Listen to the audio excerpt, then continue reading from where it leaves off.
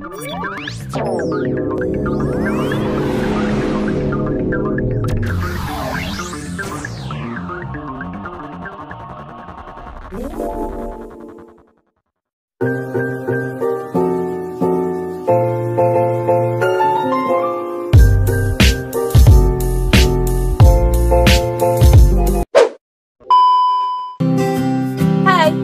namaku Binza Mari Faradina.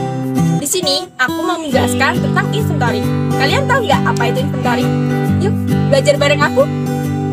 2,000 years later. Inventory atau lebih dikenal dengan persediaan dapat didefinisikan sebagai aset berwujud yang diperoleh perusahaan untuk dijual kembali dalam kegiatan normal perusahaan dan atau yang diperoleh perusahaan untuk diproses terlebih dahulu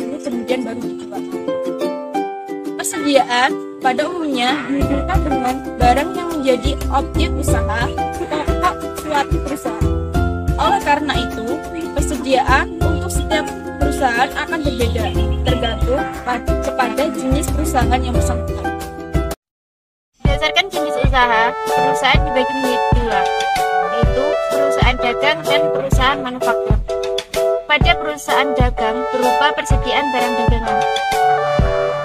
Kemudian, pada perusahaan manufaktur, biasanya memiliki tiga jenis persediaan, yaitu persediaan bahan baku. Persediaan bahan baku yaitu biaya yang dibebankan ke barang dan bahan baku yang ada di tangan, tetapi belum dialihkan ke produksi. Yang kedua, bahan dalam proses, yaitu biaya bahan baku untuk produk yang telah dibuat tetapi belum selesai. Ditambah biaya tenaga kerja langsung yang diaplikasikan secara khusus ke bahan baku ini dan biaya overhead yang dialokasikan. Lalu yang ketiga, barang jadi, yaitu biaya yang berkaitan dengan produk yang telah selesai tetapi belum terjual pada akhir periode fiskal.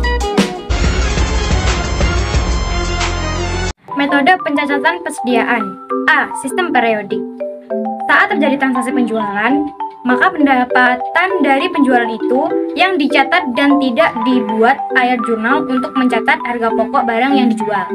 Akibatnya, persediaan akhir tidak diketahui dan harus dilakukan perhitungan fisik untuk melakukan harga pokok persediaan akhir. Ciri-ciri pencatatan persediaan dengan sistem periodik antara lain sebagai berikut. 1.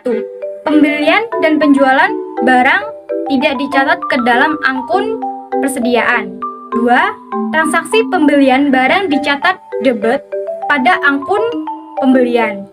Ratur pembelian dan pengurangan harga, potongan pembelian, dan biaya angkut pembelian dicatat pada angkun yang terpisah dari angkut pembelian.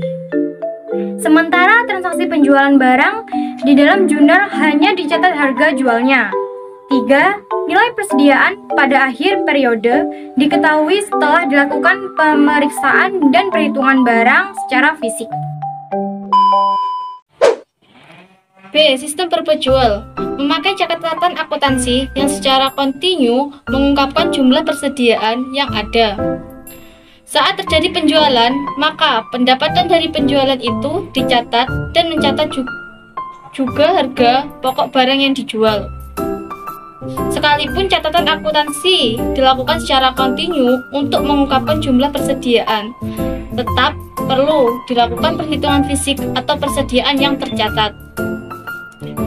Pencatatan sistem perpetual, baik transaksi pembelian maupun penjualan barang dicatat ke dalam akun persediaan, harga pokok barang yang dijual, cost of goods sold, dalam suatu periode tidak perlu dihitung seperti pada pencatatan sistem periodik karena sudah tercatat dalam akun harga pokok penjualan.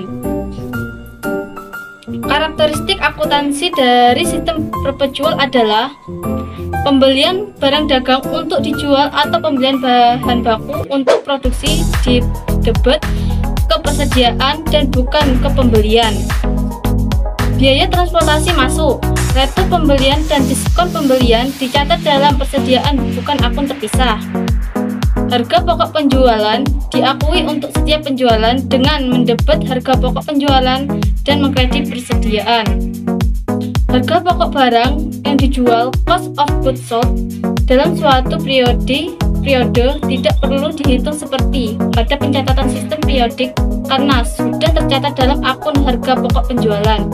Walaupun pencatatan akuntansi dilakukan secara rutin, untuk mengungkapkan jumlah persediaan tetap perlu juga dilakukan perhitungan secara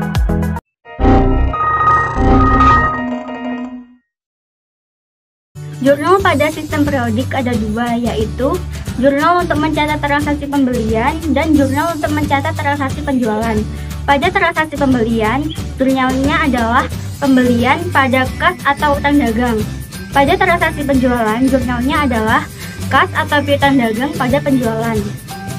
Pada sistem perpetual, jurnalnya ada dua, yaitu jurnal untuk mencatat pembelian barang dan jurnal untuk mencatat penjualan barang.